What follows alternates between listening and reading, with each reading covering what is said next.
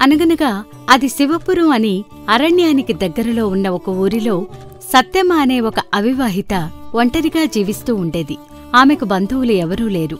కాని సత్యమ్మ తన కష్టంతో గొడ్డు గోదా ఏర్పాటు చేసుకుని పాడిమీద డబ్బు కొంత వెనకవేసి ఒంటరి బతుకే అయినా సుఖంగా బతుకుతూ వచ్చింది. ఇదిలా ఉండగా ఆ అడవిలో కోయదొరకు చెందిన ఒక ఉమ్మడి కుటుంబం ఉండేది. అందులో ముప్పై నలభై మంది ఆడామగ ఉండేవారు. వాళ్ళు అడవిలో కొంతమేర మోటు ధాన్యాలు పండించి వాటితో పొట్టపోసుకునేవారు ఒకనాడు ఆ కుటుంబం పెద్ద వచ్చి సత్యమ్మతో ఇలా అంటాడు.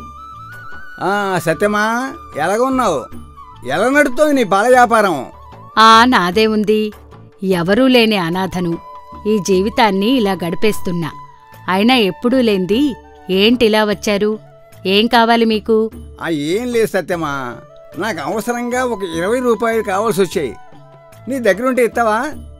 ఒక ఏడాది లోపల వడ్డీతో సహా తిరిగి ఇచ్చేస్తా అని అంటాడు. దాంతో కొంచెం ఆలోచించిన సత్తెమ్మ ఇలా అంటుంది. సరే అవసరం అంటున్నావు కదా ఇస్తాను. నా పెడతలో డబ్బులుంటే మాత్రం పిల్లలు పెడుతుందా ఏంటి?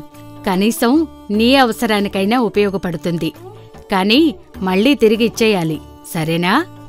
అని చెప్పి సత్తెమ్మ తాను దాచుకున్న డబ్బులలో ఒక ఇరవై రూపాయలు ఆ కోయిదొరకు అప్పు ఇస్తుంది. చాలా సంతోషంగా అవి తీసుకుని ఆ కోయిదొర అక్కడ్నుంచి వెళ్ళిపోతాడు. అలా ఒక ఏడాది గడుస్తుంది. కాని అతను చెప్పినట్టు ఆ డబ్బులు తెచ్చి తిరిగి ఇవ్వలేదు. దాంతో సత్తెమ్మ ఇలా అనుకుంటుంది. ఏంటి? ఈ కోయిదర డబ్బులు తీసుకెళ్ళి అప్పుడే ఏడాది గడిచింది. అసలు ఇవ్వడం పక్కన పెడితే ఇప్పటివరకు నాకు మొహమైనా చూపించలేదు. బహుశా అతను నన్ను మోసం చేసుంటాడా? లేదు లేదు. ఏదోలా అతన్ని పట్టుకుని నా డబ్బులు నేను వసూలు చేసి తెచ్చుకోవాలి అని నిశ్చయించుకుని ఒకనాడు తీరిక చేసుకుని ఆ అడవిలో కోయ కుటుంబం ఉండే చోటికి వెళుతుంది. ఆమె వెళ్ళేసరికి కోయ కుటుంబంలోని అందరూ ఒకే చోట ఉండి ధాన్యం కోస్తూ ఉంటారు. అయితే వారిలో కోయలాంటి వాళ్ళు దాదాపు ఐదారుగురుంటారు. వారిని చూసి సత్తెమ్మ ఇలా అనుకుంటుంది. ఏంటి? వీళ్ళంతా ఒకేలాగా ఉన్నారు. ఇందులో నా దగ్గర అప్పు తీసుకున్న కోయదొర ఎక్కడున్నాడో. ఇంతమందిలో అతన్ని గుర్తుపట్టడం చాలా కష్టంగా ఉందే అనుకుని వాళ్ళలో తనకు కావలసిన వ్యక్తిని గుర్తించలేక వాళ్ళెవరూ తనను చూడకముందే గిరుక్కున తిరిగి ఇంటిదారి పడుతుంది. అయితే దారిలో ఆమెకు రాయుడనే ఒక వ్యక్తి కనిపిస్తాడు. అతన్ని అక్కడ అందరూ కోతల రాయుడు అంటారు. ఎందుకంటే అడవి మనిషి కాదు పల్లె మనిషి కాదు. వాడెక్కడ పడితే అక్కడే తిరుగుతూ ఏదో విధంగా పొట్టపోసుకుంటూ గాలికి తిరిగేవాడు. అలా అటుగా వచ్చిన సత్తెమ్మను చూసి ఆ రాయుడు ఇలా అంటాడు. ఏమిటి సత్యమ్మా? ఇలా అడవి నుంచి వస్తున్నావు? అక్కడ ఏ పని ఉంది నీకు? అని పలకరించాడు కోతలరాయుడు దాంతో సత్తెమ్మ తనకు వచ్చిన కష్టం అతనితో చెప్పుకుని కొంచెం మనస్సు తేలిక చేసుకుందామని ఏమీ దాచకుండా అతనితో జరిగినదంతా చెప్పేస్తుంది.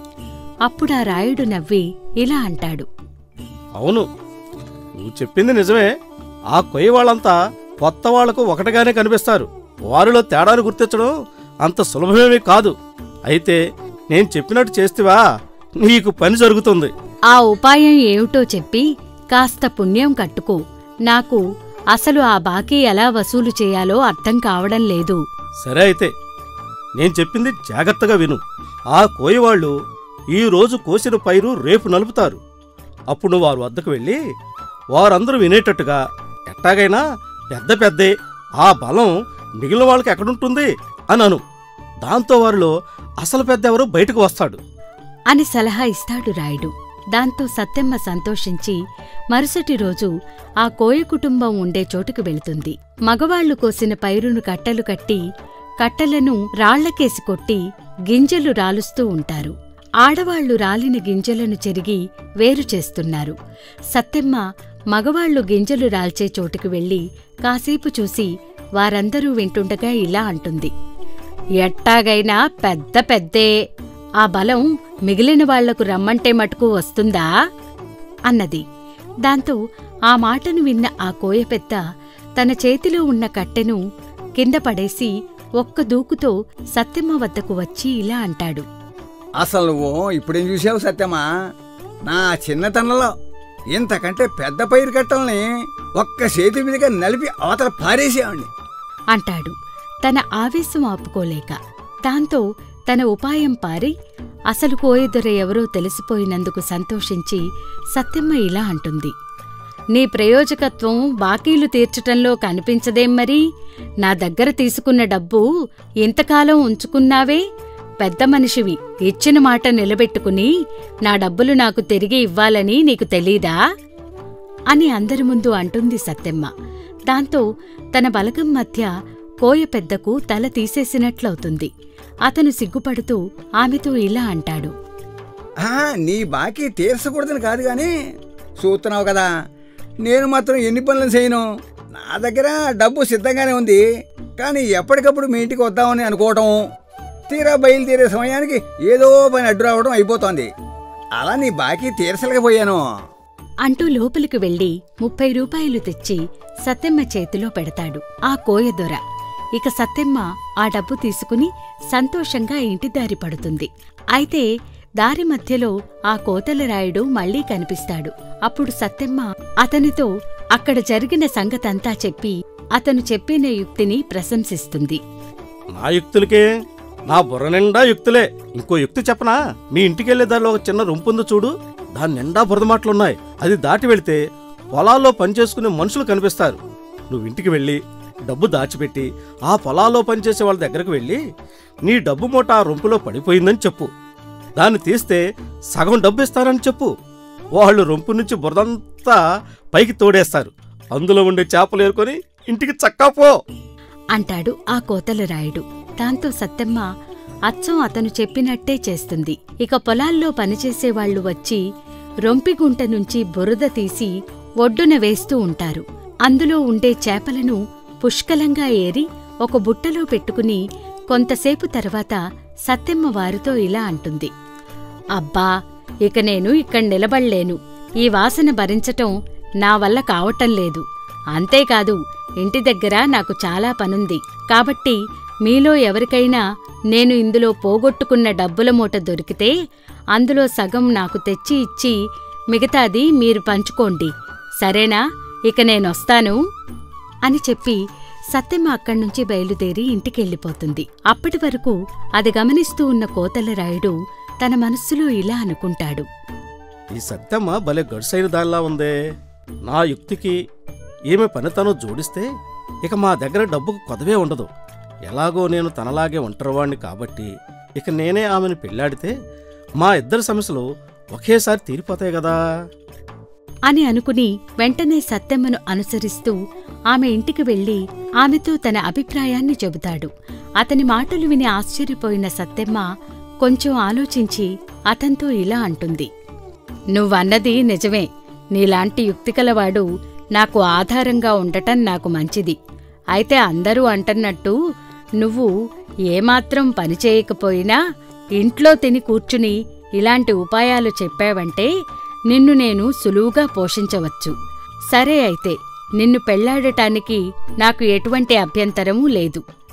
అని సత్తెమ్మ అతన్ని పెళ్ళి చేసుకోవడానికి ఒప్పుకోవటంతో ఇద్దరికీ పెళ్ళి జరిగింది.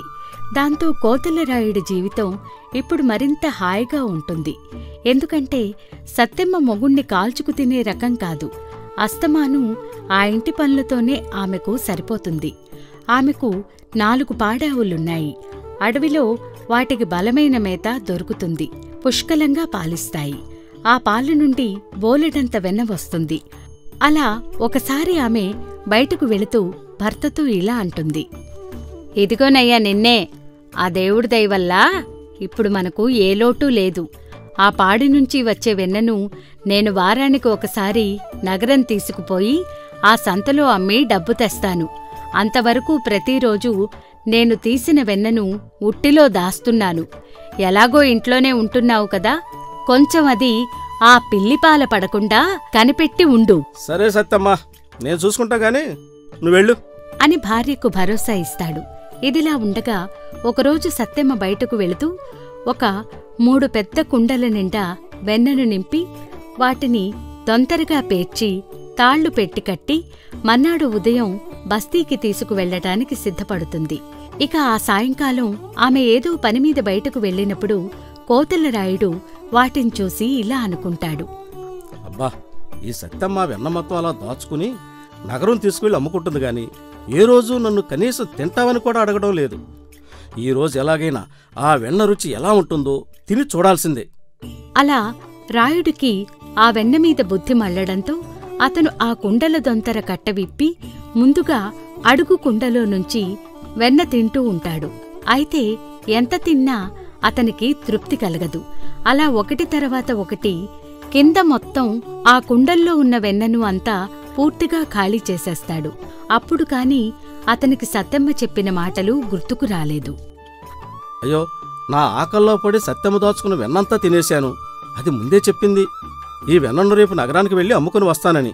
ఇప్పుడు ఈ సంగతి తెలిస్తే తప్పకుండా అది నన్ను చంపేస్తుంది. అసలే గయాళిది ఏదో ఒక ఉపాయం ఆలోచించి దీని నుండి బయటపడాలి.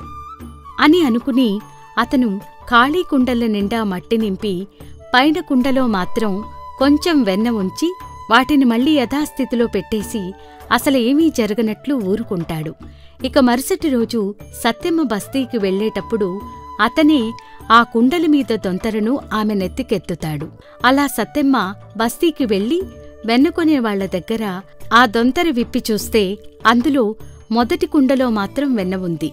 మిగతా కుండల్లో మట్టి ఉండడం చూసి నలుగురి మధ్య సిగ్గుపడిపోతుంది.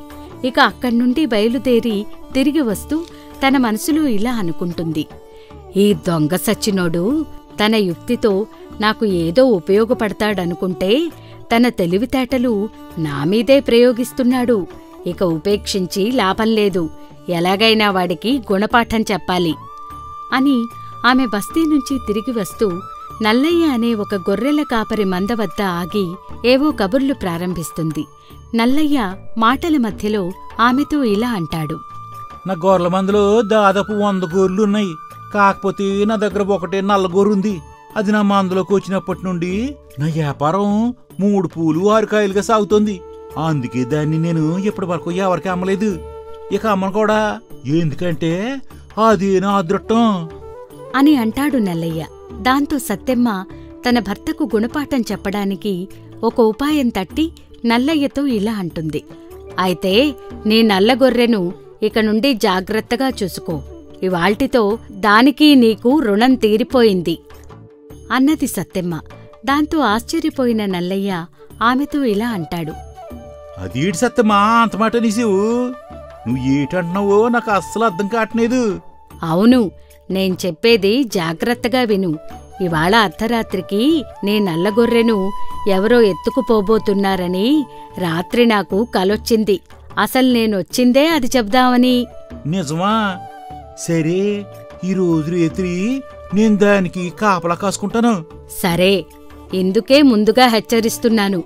ఇక దాన్ని ఎలా కాపాడుకుంటావో ఏమో నీ ఇష్టం. అని సత్యమ్మ అక్కడి నుంచి బయలుదేరి ఇల్లు చేరేసరికి కోతలు రాయుడు ఇంట్లోనే ఉంటాడు.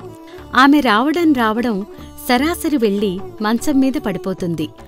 అది చూసేసరికి రాయుడు ఆమెను ఇలా అడుగుతాడు.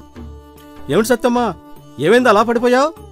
అంటూ ఆమె దగ్గరకు వెళ్ళి కదిలిస్తే శవంలాగా స్పృహ తప్పి ఉంటుంది. ఊపిరి కూడా ఆడుతున్న లక్షణాలు లేవు. ఇక రాయుడు కొంచెం నీరు తెచ్చి ఆమె ముఖాన నీరు చల్లితే అప్పుడు సత్తెమ్మ కొంచెం తేరుకుని ఊపిరి పీల్చుకుంటూ ఉంటుంది. అలా కొంతసేపటికి ఆమె కళ్ళు తెరవటంతో రాయుడిలా అడుగుతాడు. ఏమైంది సత్యమ్మ అసలు నీకు? వస్తూ అలా పడిపోయావేంటి? ఏం చెప్పను నాకు మూర్ఛరోగం ఉంది. ఈరోజు నగరం నుండి వస్తుంటే అది మళ్ళీ తిరగబెట్టింది. ఎప్పుడో ఈ మూర్ఛతోనే నా ప్రాణం పోయేట్టు ఉంది. దాంతో రాయుడు ఆశ్చర్యపోయి ఇలా అడుగుతాడు. ఏమిటి? నీకు మూర్ఛ. మరి నాకెప్పుడూ చెప్పలేదే? దీనికి మందేమిటి? అని అడగడంతో భర్తకు గుణపాఠం చెప్పటానికి ఇదే సరైన సమయం అనుకుని నాకు ఈ మూర్ఛ తగ్గాలంటే నల్లగొర్రె మాంసం తినాలి. ఇంతకు ముందు అది తిన్నప్పుడు కాస్త కుదుట పడింది. ఏమిటి? నల్లగొర్రె ఆ మన ప్రాంతంలో అసలు నల్లగొర్రె ఎక్కడుంది? ఎందుకు లేదు? నల్లయ్య దగ్గర ఒక నల్లగొర్రె ఉంది కూడా. అవుననుకో కానీ వాడు ఎత్తు డబ్బు పోసినా వాడు దాన్ని ఎవరికి ఇవ్వడు. అదంటే వాడికి అంత ఇష్టం. అంతేలేండి. ఇక నా ప్రాణం ఇట్లా పోవాల్సిందే. నా కోసం నువ్వు ఆ గొర్రెను కూడా తీసుకురాలేవా? అంటూ సత్యమ్మ మూలిగి మళ్ళీ కళ్ళు మూసుకుంటుంది. ఇక చేసేదేం లేక ఆ రాత్రికి ఆ నల్లగొర్రెను దొంగిలించాలని రాయుడు బయలుదేరుతాడు. మరోవైపు ఆ నల్లయ్య దొంగ కోసం తన కుక్కతో సహా మంద సమీపంలో మాటువేసి ఉంటాడు. సరిగ్గా అదే సమయానికి కోతలరాయుడు రావడంతో ఆ కుక్క వచ్చి వాడి మీద విరుచుకుపడుతుంది వాడు హడలిపోయి గొర్రెల మధ్యలోంచి బయటికి వస్తుండగా వీపు మీద ఠపీమని ఒక కర్ర పడుతుంది. ఇక చావు తప్పి కన్నులొట్టబోయి రాయుడు అక్కడ్నుంచి పరిగెత్తుకుంటూ ఇల్లు చేరేసరికి సత్తెమ్మ అప్పుడే భోజనం చేసి మంచం మీద కూర్చుని ఉంటుంది. అతన్ని చూడగానే ఏమీ తెలియనట్లు ఇలా అడుగుతుంది. ఈ రాత్రివేళ ఎక్కడికి పోయావు? ఇంతకు ముందే నాకు నిద్ర మెలకు వచ్చింది. లేచి అన్నం తిన్నాను. అయితే ఏమీ జరగనట్టు మాట్లాడుతున్న ఆమెను చూసి ఇలా అంటాడు రాయుడు. అదేమిటి మరి? రాత్రి నీకు మూర్చొచ్చింది కదా? ఏమైంది? ఏంటి? నాకు మూర్ఛేంటి ఏమైనా కలగంటున్నావా ఏ? అంటుంది సత్తెమ్మ దాంతో తనను శిక్షించటానికి సత్తెమ్మ రాత్రి అలా చేసిందని గ్రహించిన కోతలరాయుడు ఆ రోజు నుంచి మారి బుద్ధిగా కష్టపడి జీవించటం మొదలు పెడతాడు. ఈ కథ కనుక మీకు నచ్చినట్లయితే లైక్ చేయండి షేర్ చేయండి. మరిన్ని కొత్త కథల కోసం సూపర్ స్టోరీస్ తెలుగు ఛానల్ని సబ్స్క్రైబ్ చేయండి.